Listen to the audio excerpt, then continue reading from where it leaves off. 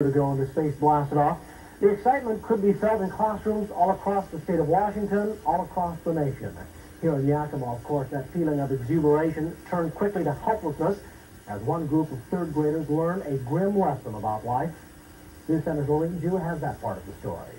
Under here really hard, like that. You can feel how warm it gets. Well, that's what happens when the shuttle is going up and the, it's cutting through the air. That friction is developed.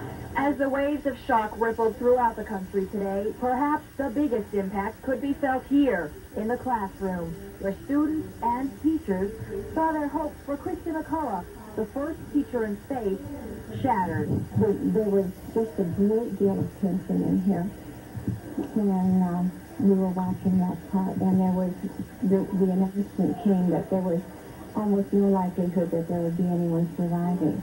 That was pretty dramatic and very disheartening.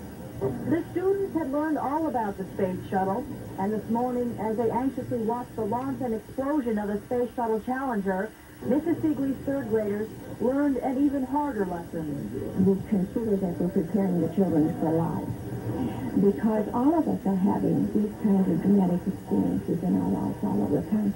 And we don't wait to grow up to experience them. We experience them as children. Says it turned out to be a very valuable experience for the students, and although they are quite young, the powerful images they saw on the television screen crossed all age barriers. The realization of the tragedy was reflected not only in their faces, but in the questions they asked. How did the space shuttle blow up? That question, along with many others surrounding today's catastrophe, may never be answered.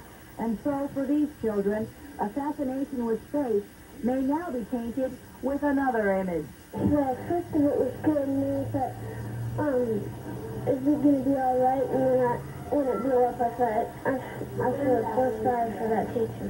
When I saw that, I, I just really thought, shuttle, just to get out of.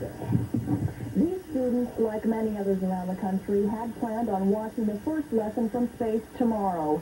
But perhaps the lessons that they learned this morning will be just as valuable as the ones Christa McAuliffe would have taught them. At Whitney Elementary School, Lorene Jew reporting for News Center.